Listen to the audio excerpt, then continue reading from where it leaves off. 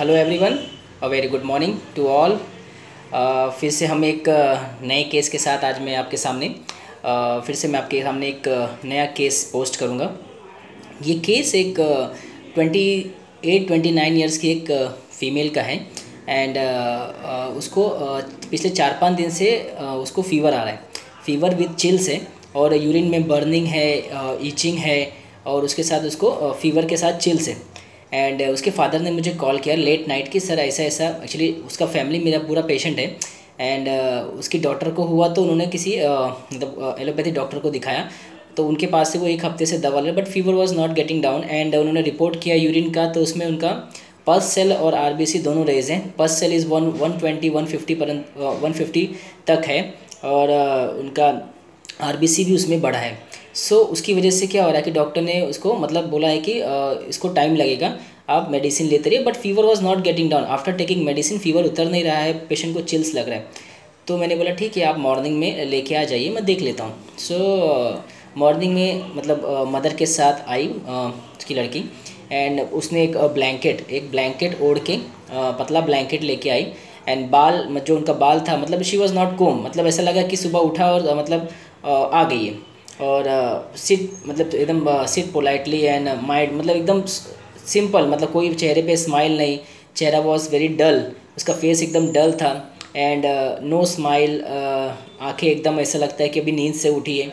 उसको लेके आया एंड वो बैठी तो मैंने मदर को बोला कि आप बैठिए बाहर, मैं इससे बात करता हूँ एंड लेट सी मैं आपको बुलाता हूँ उसके बाद। तो मैंने उसको पूछना चालू किया कि बताइए क्या दिक्कत हो रही है? तो बोले, मुझे पिछले पाँच छः दिन से सर फीवर आ रहा है एंड मुझे बहुत ठंडी लग रही है। और वो डॉक्टर की दवा एलोपैथी में पाँच छः दिन से खा रही हूँ बट मुझसे कुछ भी आराम नहीं हो रहा है, सर। मतलब उसका टोन जिस एंगल में उसने बोला है, मैं वो टोन आपको बताता हूँ। मतलब आई ट्राई टू मतलब कि उसमें कि वो वो टोन मैं आप उस लेडी का बोल सकूँ। तो किस किस टोन में वो बोल रहे थे? तो tone is very important in this can in this case तो कुछ भी फ़र्क नहीं पड़ रहा है सर। मैंने आ, आपने फिर डैडी को बताया था कि आ, वो एक रात को आप क्लिनिक में नहीं थे तो बोले आप एक गोली खिला दो और आ, डोलो या बुखार का कोई दवा खिला दो। तो मैंने वो भी लिया सर मगर उससे भी आराम नहीं हुआ। मैं रात भर मुझे बहुत बुखार था और आ, मेरे भाई ने फिर एक बहुत कड़क गोली ला के दिया बोला ये खा लो और आ, उसके लिए मुझे खाना ज़रूरी था। तो मेरे भाई ने मुझे ज़बरदस्ती ऐसा खाना खिला के फिर वो दवा खिलाया। मुझे खाने की इच्छा ही नहीं है सर मैं, मैंने वो गोली खाई, रात भर मुझे बहुत पसीना हुआ। और फिर सुबह ऐसा लगा कि मैं ठीक हो गई, मगर फिर से बुखार चढ़ गया। एंड वापस से वही तकलीफ़ हो गई। मुझे वीकनेस आ गया है, खाना खाने की इच्छा नहीं हो रही है। और उल्टी जैसा लगता है, खाना देखते ही मुझे उल्टी लगता है। तो मुझे बहुत ठंडी लगती है, मेरे को वीकनेस बहुत आ गया है। तो मैं वो डॉक्टर साहब को पूछी कि, सर, कितना दिन लगेगा मुझे ठीक होने के लिए? तो उन्होंने बोला कि, आपका इन्फेक्शन बहुत ज़्यादा है, आप दवा लेते रहो जब तक ठीक नहीं होता है। तो मैंने उनको पूछा कि, कितना दिन लगेगा, सर? तो उन्होंने बताया कि छः महीना लेना पड़ेगा। तो मैंने बोला, ठीक है, मैं लेती हूँ बट मुझे आराम तो आना चाहिए। आराम आए तो मैं छः महीना ले भी लूँ, मगर मुझे कुछ भी आराम नहीं है, सर। मुझे वीकनेस बहुत है, मैं दिन भर सोती रहती हूँ, मेरा सर इतना फटता है, मेरा इतना सर भारी रहता है।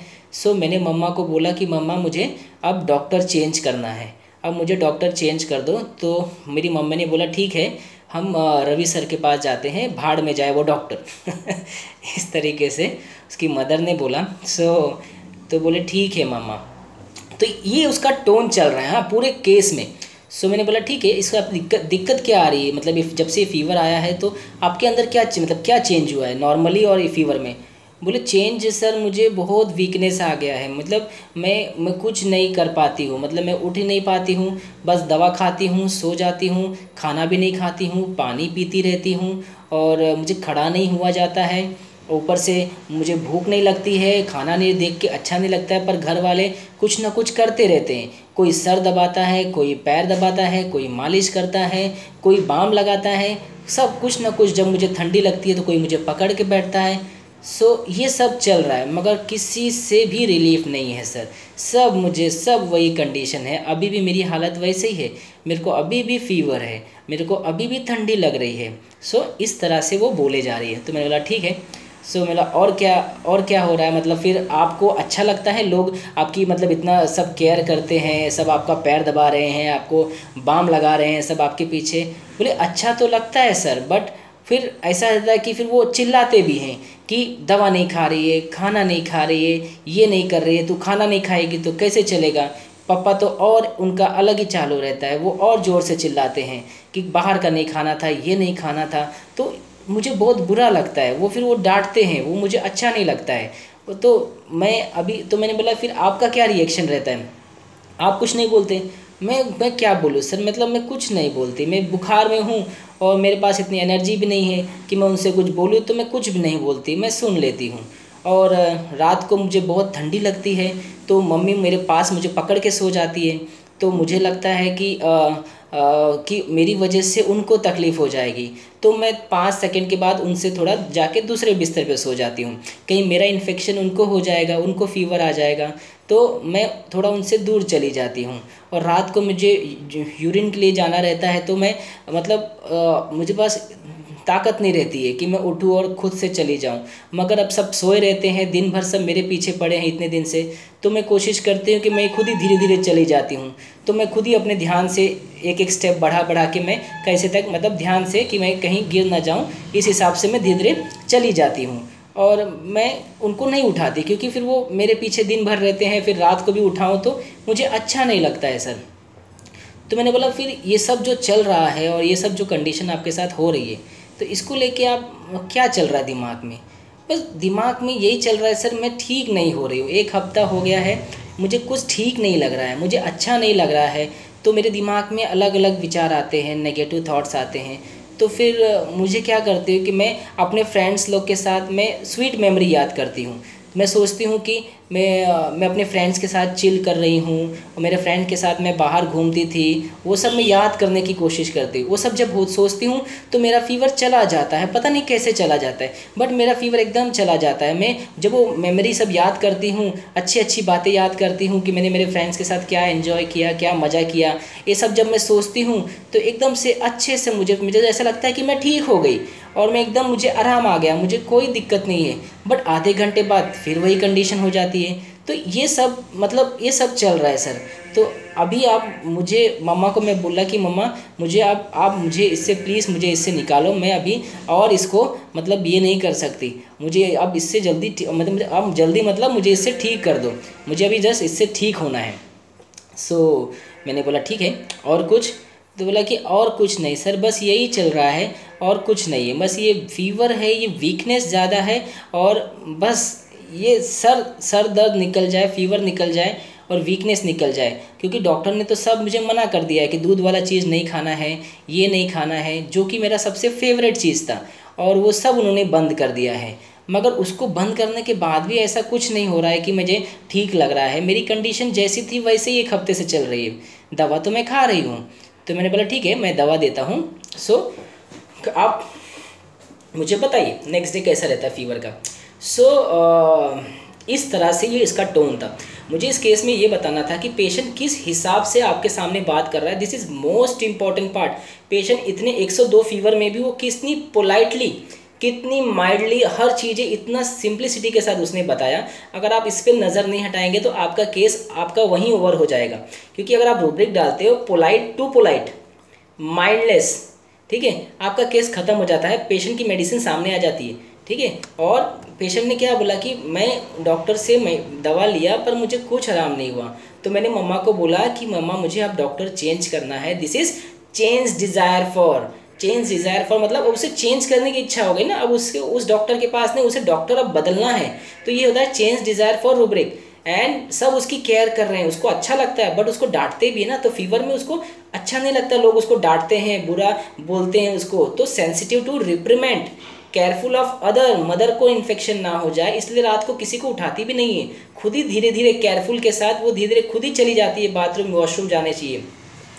तो केयर केयरफुल ऑफ़ अदर्स दिन भर वो मेरे पीछे पड़े हैं और रात को भी मैं उनको उठाऊँ तो अच्छा नहीं लगता ना तो मैं इसलिए खुद ही ध्यान से धीरे धीरे चली जाती हूँ। तो ये केयरफुल ऑफ़ अदर्स है और केयरफुलनेस है। धीरे धीरे केयरफुल के साथ वो बाथरूम जाती है ठीक है? और उसने एक चीज़ बताया जो बहुत इंपॉर्टेंट है इस केस में। आ, जब मुझे तकलीफ़ ज़्यादा होती है नेगेटिविटी आती है तो मैं अच्छी अच्छी मेमोरी याद करती हूँ स्वीट मेमोरी याद करती हूँ। तो मुझे मेरा फीवर चला जाता है। तो ये एक रूब्रिक है dwell dwell on past happy movement ये हमारे पास रूब्रिक है। पेशेंट ने सेम टू सेम वर्ड वही बोला कि dwell dwell on past sweet memory happy movement तो ये रूब्रिक है और ऑक्यूपेशन डाइवर्जन एमएल उसका ध्यान हट जाता है। जब उसे वो स्वीट मेमोरी वो ड्वेल करती है तो उसको उसमें आराम मिलता है। तो ये ऑक्यूपेशन डाइवर्जन एमएल है। ऑक्यूपेशन मतलब क्या होता है कि काम उसके दिमाग में पुरानी मेमोरी का जो वर्क चल रहा है ना कि जो वो रिमाइंड कर रही है वो सोच रही है ये सब ऑक्यूपेशन ही है। सो so, ये ऑक्यूपेशन डाइवर्जन उसका डाइवर्ट हो रहा है वहाँ से। उसका वहाँ से उसका मन डाइवर्ट हो रहा है फीवर से और नेगेटिविटी से और उसको वहाँ उससे अच्छा लगता है क्योंकि वो पास्ट हैप्पी मोमेंट याद कर रही है। तो दिस इज़ वेरी इंपॉर्टेंट ये रूबरी बहुत बहुत केस को इजीली मुझे डिफ्रेंशिएट करने में बहुत अच्छा इजीली हो गया। तो ड्वेल पास्ट हैप्पी मूवमेंट और occupation diversion avail M so मैंने इसे कार्सिनोसिन दिया। कार्सिनोसिन थर्टी नहीं कार्सिनोसिन 200 सॉरी कार्सिनोसिन मैंने 200 उसे तीन डोज दिया बिकॉज़ एक्यूट फीवर था और वीकनेस बहुत ज़्यादा था तो मैंने 30 ना चूज़ करके 200 किया बिकॉज़ वाइटल फोर्स काफ़ी हद तक डिरेंज हो चुका था. एंड uh, उसे बूस्ट करने के लिए मुझे 200 पोटेंसी यूज़ करना पड़ा क्योंकि पेशेंट ऑलरेडी सेवन डेज़ से सफरिंग में है और उसका जो पस सेल है वन के आसपास है इन्फेक्शन बहुत ज़्यादा है. सो so, मैंने उससे 200 के थ्री डोज दिए और मॉर्निंग में मेरे पास आई थी इवनिंग तक उसके पास रात तक उसको फीवर नहीं आया. और रात तक उसको ज़रा भी फीवर नहीं आया। उसको मॉर्निंग में हल्का 99 फीवर आया। उसके बाद उसका वीकनेस कम था मगर फीवर 99 था। होल डे उसने कुछ नहीं किया सिर्फ़ आ, मैंने उसे एसएल ही दिया। उसके बाद होल डे उसे फीवर नहीं आया। उसके बाद उसका एकदम नॉर्मल हो गया। थर्ड डे फीवर नहीं आया वीकनेस कम हो गया उसका एपेटाइट बढ़ गया। और वीकनेस काफ़ी हद तक कंट्रोल हो गया। वो फिर से एक्टिव होने लगी। मगर फोर्थ डे उसे एक सर्दी यानी कोल्ड एंड कोराइजा हुआ सर्दी चालू हो गई।